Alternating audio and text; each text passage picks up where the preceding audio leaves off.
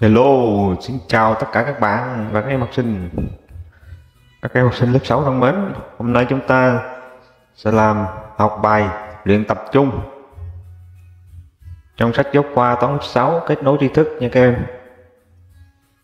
Ta đi vào ví dụ 1 Cho số n bằng 280.650 Tìm chữ số hàng nghìn và chữ số hàng trăm nghìn của n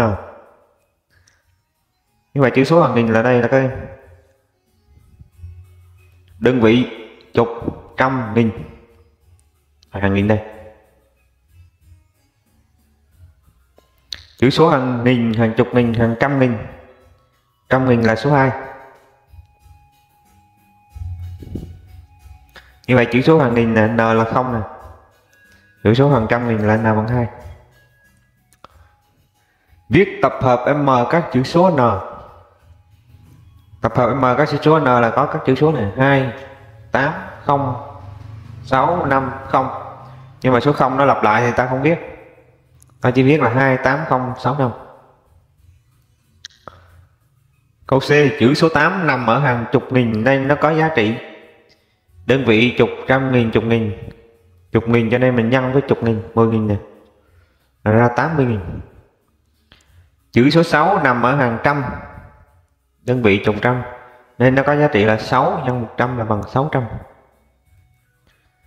như vậy câu D này, n thành tổng giá trị của số đó là bằng, đây là trăm nghìn này cho nên 2 nhân cho trăm nghìn. Ở đây 10 nghìn thì mình nhân cho 10 nghìn. Số 0 này không có. Tới 6 này là 600 6 nhân trăm. Cộng cho 5 nhân cho 10 là qua ví dụ 2 Số khách du lịch quốc tế đến nước ta trong quý 1 và quý 2 của một năm lần lượt là 6 triệu 526.300 người và 3 triệu 514.500 người. Để hoàn thành kế hoạch cả năm đón 22 triệu khách du lịch quốc tế, hai quý cuối năm đó ngành du lịch Việt Nam phải phấn đấu có bao nhiêu khách du lịch quốc tế đến thăm đất nước ta. Như vậy trong hai quý đầu là số khách du lịch quốc tế Việt Nam là mình cộng lại mình lấy 6 triệu 526 ngàn 300 cộng cho 3 triệu 514 ngàn 500 nó ra là 10 triệu 040 ngàn 800 người. Nhưng mà chỉ tiêu của mình là tới 22 triệu người là mà mình mới cứ hai quý mình chỉ mới có đạt hơn 10 triệu. Như vậy phải còn hơn 10 triệu nữa. Thì mình lấy 22 triệu mình trừ cho 10 triệu 040 ngàn 800 ra 11 triệu 959 ngàn 200 Này thầy chỉ sơ thôi các em, còn đây nó có trong sách này, mình coi mình nghiên cứu nha. Ví dụ ba ánh sáng từ mặt trời đến trái đất là khoảng 8 phút 19 giây. Mỗi giây ánh sáng đi được là 300.000 km hỏi trái đất cách mặt trời bao nhiêu km thì đây mình sẽ đổi ra giây nha. Một phút là bằng 60 giây. Rồi mình cộng thêm 19 phút 19 giây nữa. Đây người ta đổi này 1 phút bằng 60 giây 8 phút sẽ bằng là 480 giây này cộng 19 nữa là thành ra 499 giây. Nhân 300 ngàn km.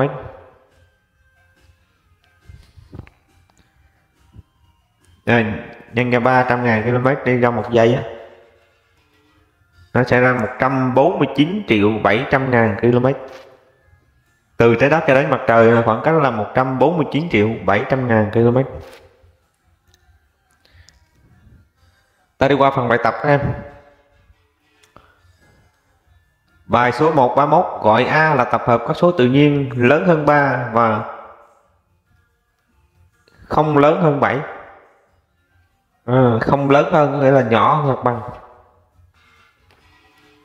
Viết tập hợp A bằng hai cách.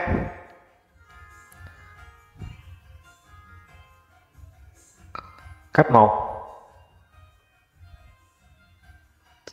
lớn hơn 3 nghĩa là 4 nè. 5 nè. 6 nè.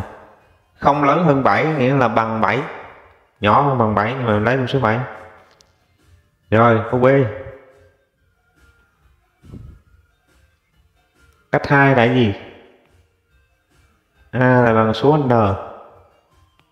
Thuộc n, số tự nhiên sao cho x lớn hơn 3 và nhỏ hơn bằng 7 là xong.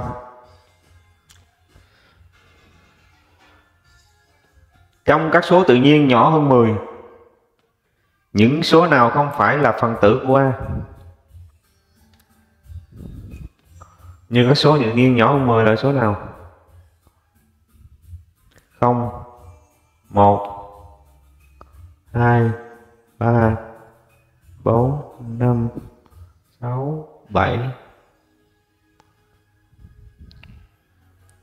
Mình thấy là công 1 2 3 này.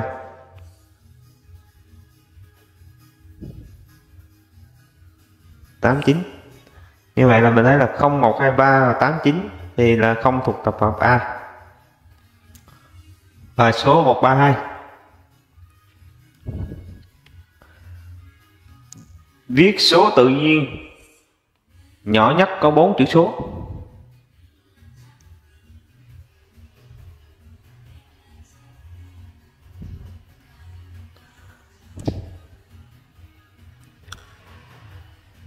Đó là một ngàn. Viết số tự nhiên có bốn chữ số khác nhau. Là một không hai ba.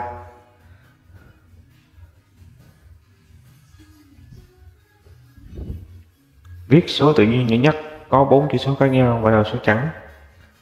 Nhưng mà là hai không bốn sáu. Viết số tự nhiên nhỏ nhất. Có bốn chữ số khác nhau và đều là số lẻ. Như vậy là một, ba, năm, bảy. Bài một, ba ba.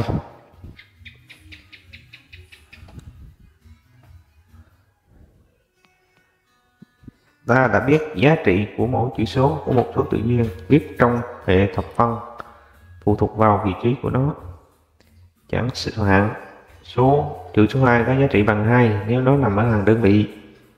Có giá trị bằng 20 nếu nó ở nằm hàng chục.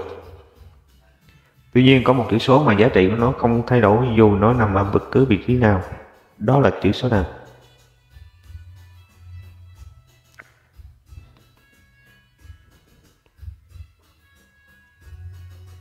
Đó là chữ số 0 thôi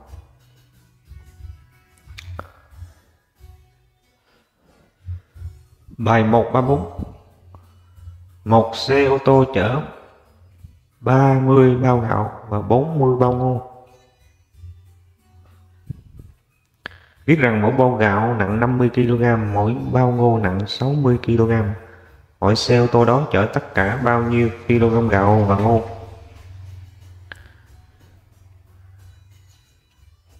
Thì bài toán này là mình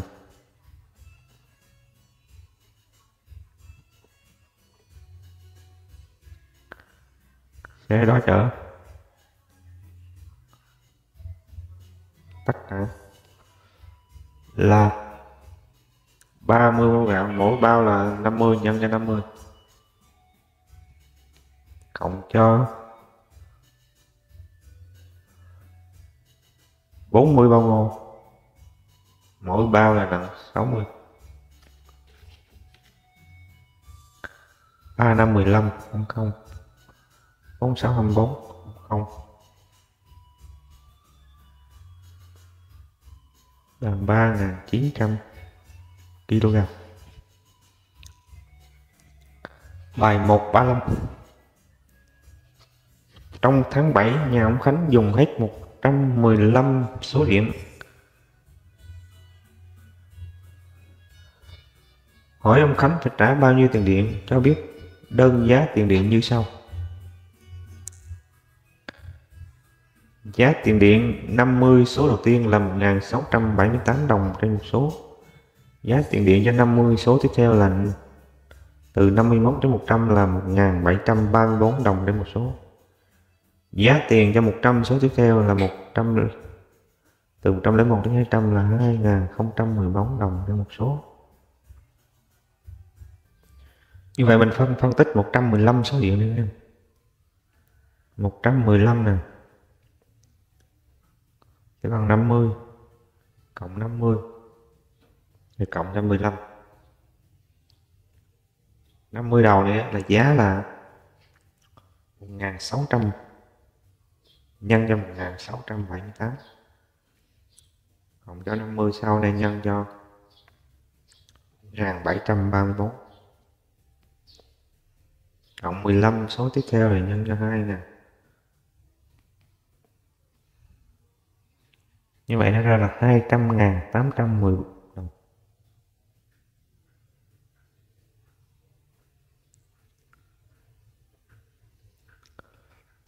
Vậy ông Khánh phải trả số tiền là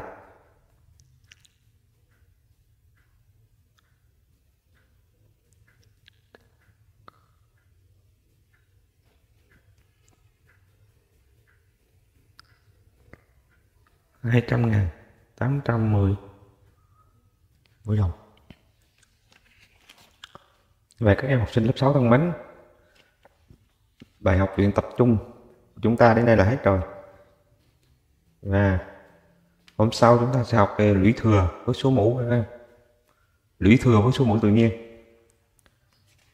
Thầy xin chào tạm biệt tất cả các em và hẹn lại clip sau nha. Bye bye.